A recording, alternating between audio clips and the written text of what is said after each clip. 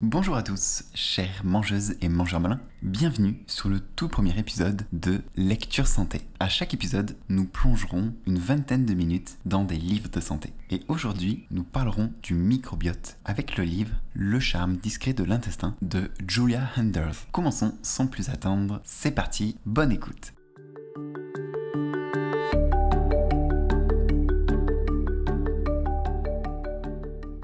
Présentation. Surpoids dépression, diabète, maladie de peau, et si tout se jouait dans l'intestin Au fil des pages de son brillant ouvrage, Julia Handers, jeune doctorante en médecine, plaide avec humour pour cet organe qu'on a tendance à négliger, voire à maltraiter.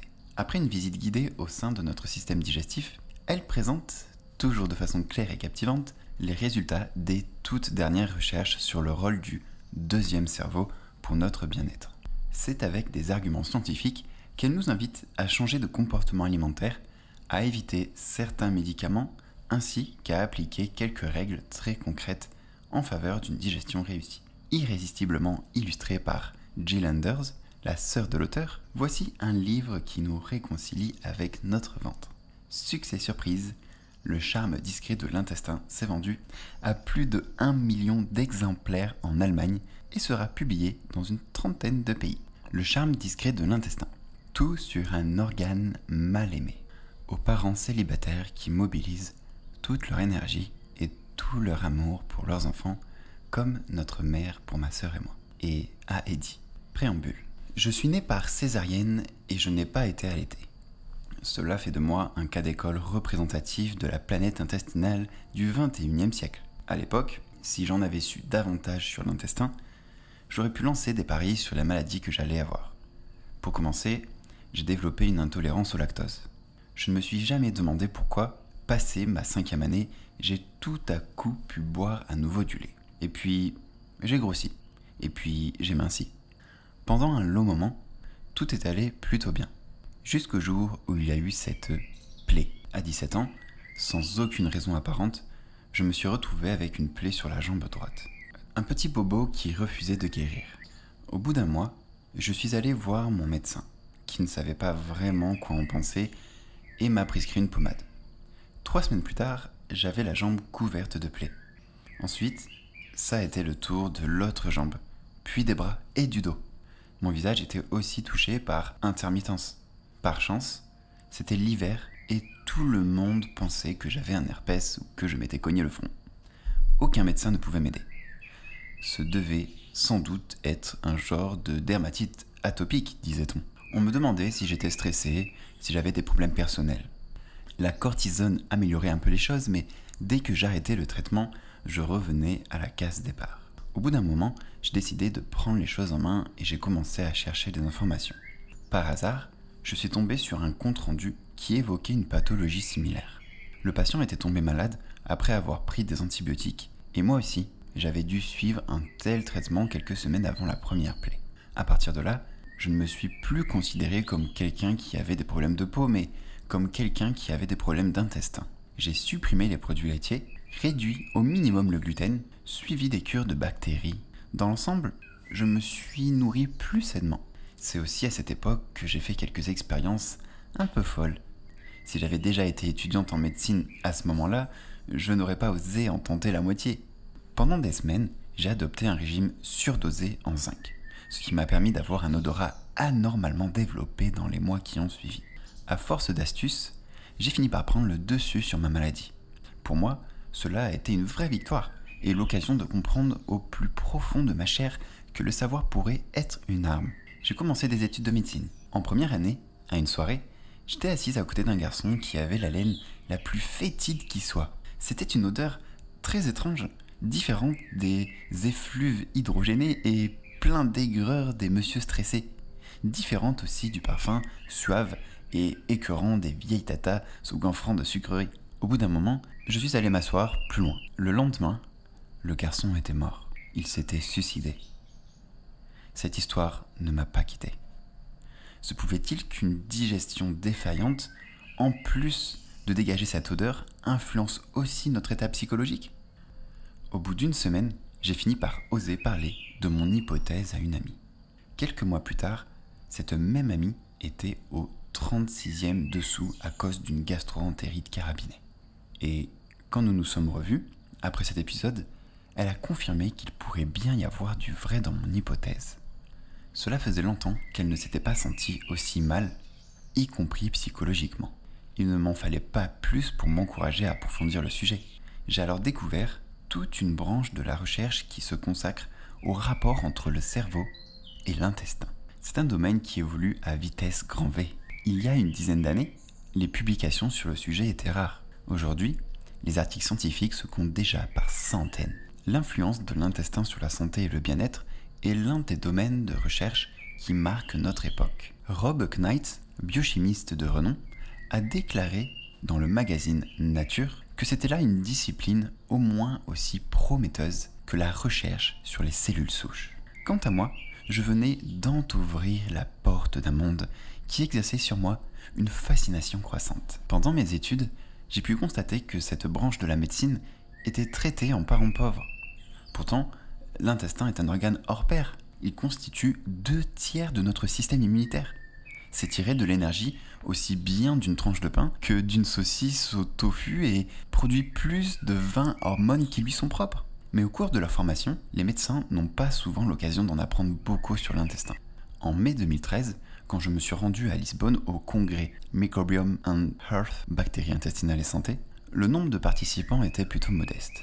La moitié venait d'institutions qui ont les moyens financiers d'être là quand on parle de nouveautés. Harvard, Yale, Oxford ou le laboratoire européen de biologie moléculaire de Heidelberg. Je suis parfois effaré de voir que les scientifiques échangent à huis clos des connaissances capitales, sans que le grand public en soit informé. Il est vrai que la prudence scientifique vaut souvent mieux qu'une supposition précipitée, mais la peur peut aussi réduire à néant des opportunités décisives. Dans la sphère scientifique, il ne fait aucun doute que les personnes souffrant de certains problèmes digestifs souffrent aussi souvent de certains troubles nerveux intestinaux. Leur intestin envoie des signaux dans une zone du cerveau qui traite les sentiments de mal-être. Et ce, alors que rien de ce qu'ils ont fait ne devrait déclencher ces sentiments. Les patients se sentent souvent mal à l'aise sans savoir pourquoi. Si leur médecin les classe alors dans la catégorie pathologie psychologique, ça n'est vraiment pas très productif.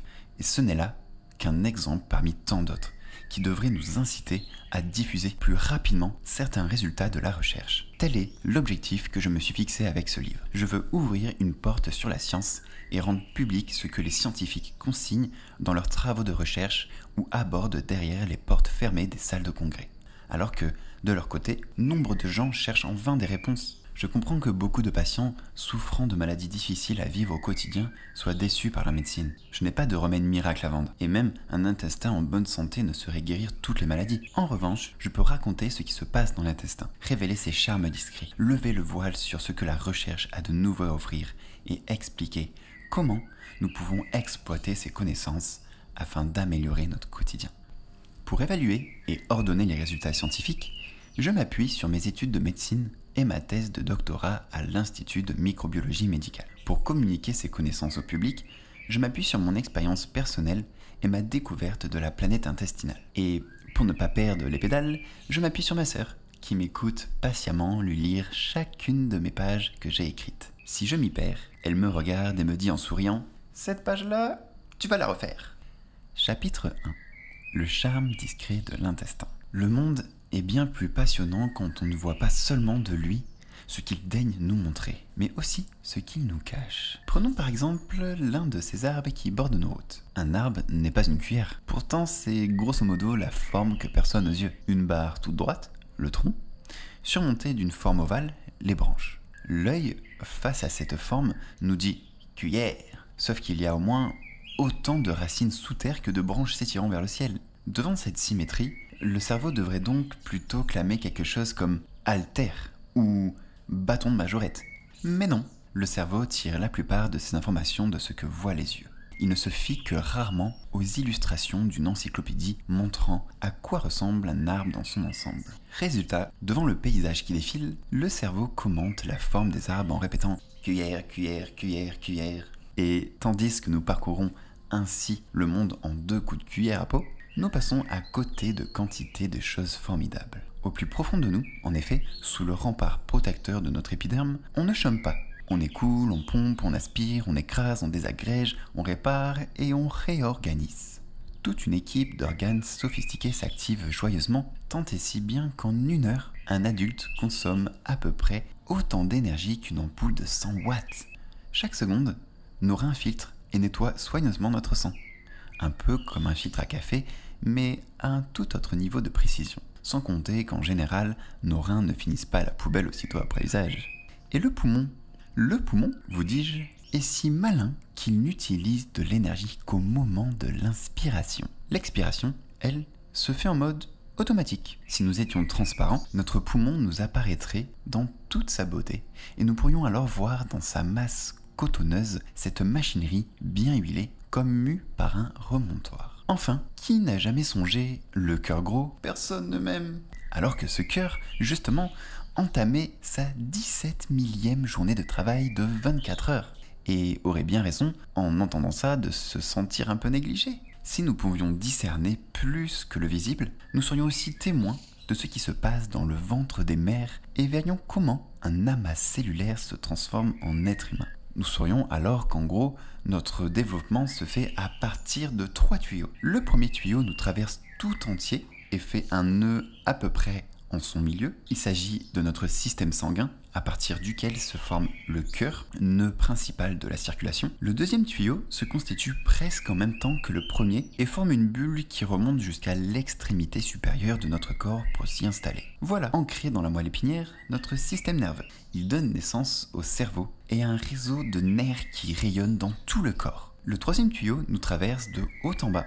C'est notre tube digestif. Le tube digestif est l'architecte intérieur de nos entrailles. Il dessine à droite et à gauche des bourgeons qui gonflent de plus en plus jusqu'à devenir nos poumons. Un peu plus bas, il se retourne comme une poche de pantalon pour former notre foie. Il donne aussi naissance à notre vésicule biliaire et au pancréas. Mais surtout, le tuyau en lui-même devient de plus en plus malin. Il participe au chantier de construction dans la cavité buccale, élabore un œsophage pro du rémuménage et forme un petit panier repas où nous pouvons stocker des provisions pendant plusieurs heures.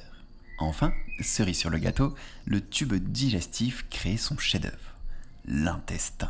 Les deux chefs-d'œuvre des deux entre-tuyaux, le cœur et le cerveau, ont toute notre considération. Nous jugeons le cœur indispensable à la vie parce qu'il permet au sang de circuler dans tout notre corps et nous admirons le cerveau parce qu'il est capable de former des pensées étonnantes à chaque seconde. Pour ce qui est de l'intestin, en revanche, la plupart d'entre nous pensent qu'il n'est bon qu'à se vider. Le reste du temps, il feignante sans doute, pendouille inutilement dans le ventre et lâche peut-être un P de temps à autre. Compétence particulière Aucune à ce qu'on croit savoir.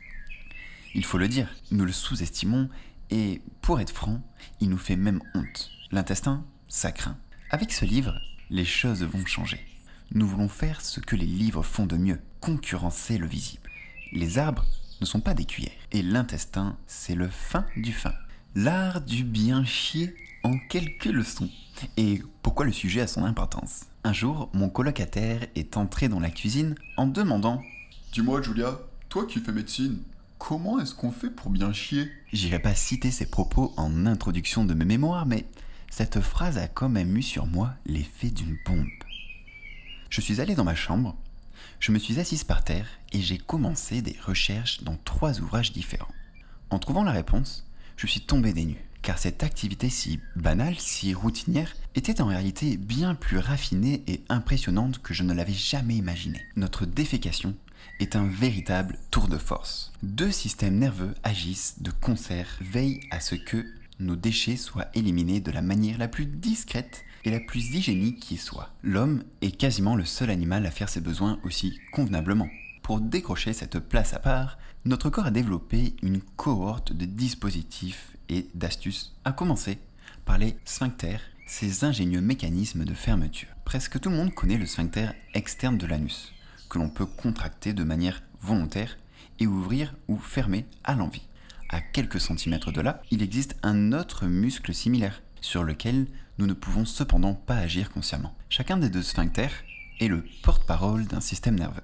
Le sphincter externe répond aux ordres de notre conscience. Quand notre cerveau estime que le moment est mal choisi pour notre tube digestif de déposer le bilan, le sphincter externe obéit à notre conscience et fait barrière du mieux qu'il peut. Le sphincter interne, lui, est le porte-parole de ce qui se passe en nous et dont nous n'avons pas conscience. Que notre tante Hélène voit l'épée d'un mauvais œil ne l'intéresse pas pour dessous. La seule chose qui compte pour lui, c'est que tout soit pour le mieux dans le meilleur des mondes intérieurs. Un pé qui coince? Le sphincter interne est là pour nous débarrasser de tout ce qui nous retourne les tripes. Si cela ne tenait qu'à lui, la tante Hélène aurait plus souvent affaire à nos flatulences. Pourvu que nos entrailles se portent bien et que rien ne nous chatouille ni ne nous gratouille entre les boyaux. Les deux muscles, que sont le sphincter externe et le sphincter interne, doivent travailler main dans la main.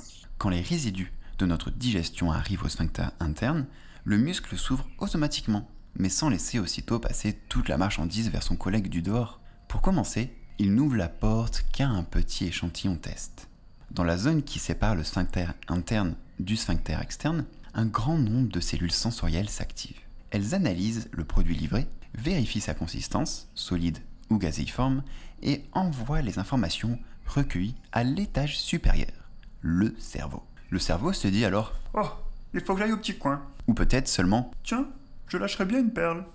Et fort de son conscient consciencieux, il fait ce qu'il sait si bien faire. Il s'adapte à notre environnement. Pour cela, il collecte des informations à partir des yeux et des oreilles et fait appel à ce qu'il sait de la vie. Une première estimation réalisée illico presto est ainsi renvoyée au sphincter externe. Bon alors, j'ai inspecté le terrain, on est dans le salon de la tante Hélène. Un petit P passe encore si tu le laisses sortir discrètement. Pour ce qui est du solide, il va falloir attendre. Le sphincter externe saisit la situation et dans son immense beauté se ferme encore un peu plus. Un signal qu'enregistre aussitôt le sphincter interne. Dans un premier temps, il se plie à la décision de son collègue. Les deux muscles unissent leurs forces et mettent l'échantillon test en attente. Il faudra bien qu'il sorte un jour ou l'autre, mais surtout pas ici. Et si ce n'est pas tout de suite, ce n'est pas plus mal non plus. Dans quelques temps, le sphincter interne fera une nouvelle tentative avec un échantillon test. Et le moment venu, si l'on est alors tranquillement assis à la maison à se tourner les pouces, alors ouvrez les vannes Notre sphincter interne est un petit gars tout en muscles. Sa devise Quand il faut que ça sorte, il faut que ça sorte. et il n'y a pas là matière à tergiverser pendant des heures. Le sphincter externe, lui, doit toujours faire face à la complexité du monde extérieur. En théorie, on pourrait utiliser les toilettes de la tante Hélène. À moins que... Est-ce qu'on ne se connaît pas assez bien maintenant pour pouvoir faire un petit prout sans que l'autre en soit offusqué? Et dois-je vraiment être le premier à briser la glace? Si je ne vais pas aux toilettes maintenant, la prochaine occasion ne sera qu'en fin de journée et ça pourrait bien devenir désagréable. Les élucubrations des sphincters n'ont aucune chance de leur valoir un prix Nobel, je l'avoue. Mais elles n'en sont pas moins fondamentales pour l'être humain. Quelle importance accordons-nous à notre univers intérieur et quels compromis sommes-nous prêts à faire pour vivre en harmonie avec notre environnement? Certains retiendront à tout prix le petit P disgracieux jusqu'à rentrer chez eux avec des maux de ventre, tandis que d'autres, pendant l'anniversaire de Mémé Jeanne, demanderont qu'on leur tire le petit doigt et feront du P ainsi déclencher un spectacle pour amuser la galerie. À long terme, la solution idéale est sans doute quelque part entre ces deux extrêmes. En nous interdisant régulièrement d'aller aux toilettes alors que le besoin s'en fait sentir, nous effarouchons notre sphincter interne. Nous risquons même de lui donner de mauvaises habitudes. Son collègue externe l'a si souvent rappelé à l'ordre que le sphincter interne est complètement démotivé, et avec lui les muscles qui l'entourent. Et quand ça coince au niveau communication entre les deux sphincters, ça risque aussi de coincer au niveau digestif. D'autres situations peuvent également entraîner une mauvaise communication entre les deux portes de sortie. Un accouchement, par exemple, peut endommager les petites fibres nerveuses qui assurent habituellement la communication entre les deux sphincters. Mais pas de panique, les nerfs, comme les os, ont la capacité de se ressouder. Quelle que soit l'origine des dégâts, la thérapie dite rétrocontrôle biologique, biofeedback, est une option. Les sphincters qui traversent une crise réapprendront alors à se comprendre et à resserrer leurs liens. Pour ce traitement proposé dans certains cabinets de gastro-entérologie, on utilise un appareil qui mesure la productivité avec laquelle le sphincter interne et le sphincter externe collaborent. Si le travail d'équipe fonctionne, un signal sonore retentit et une lumière verte est là pour nous récompenser. Encore un peu et on se croirait sur le plateau d'un jeu télévisé avec des lumières qui clignotent et des jingles approbateurs à chaque bonne réponse. Sauf qu'on est dans la salle d'examen d'un médecin avec une électrode coincée entre les fesses. Mais le jeu en vaut la chandelle. Quand l'intérieur et l'extérieur sont redevenus les meilleurs amis du monde, s'installer sur le trône est un passe-temps bien plus agréable. Sphincter, cellules sensorielles, conscience et électrodes fessières sur fond de spectacle, son et lumière, mon colocataire ne s'attendait pas à tous ces détails sophistiqués. Pas plus que le troupeau de sages étudiantes en économie qui avait entre-temps débarqué dans notre cuisine pour son anniversaire. Mais non, je n'ai pas cassé l'ambiance, au contraire. Je me suis rendu compte que l'intestin avait des fans secrets et j'ai fait provision de nouvelles questions. Est-ce vrai que nous sommes mal assis sur le trône? Comment se fait-il que nous puissions produire de l'énergie à partir d'un steak, d'une pomme ou de patates sautées alors qu'une voiture roule toujours avec le même type de carburant? À quoi sert l'appendice? Et pourquoi nos excréments sont-ils toujours de la même couleur? Aujourd'hui, mes colocataires sont habitués à me voir arriver en trompe dans la cuisine et il leur suffit de voir ma tête pour savoir que l'heure est venue d'écouter les dernières nouvelles de l'intestin, comme l'histoire des toilettes à la turque et des bols alimentaires fluorescents. C'est tout pour aujourd'hui. J'espère que ça vous a plu. Vous retrouverez dans la description un lien de notre serveur Discord qui regroupe plein de types santé et des événements comme celui-ci. Prenez soin de vous et à bientôt sur Happy Nutri. Ciao ciao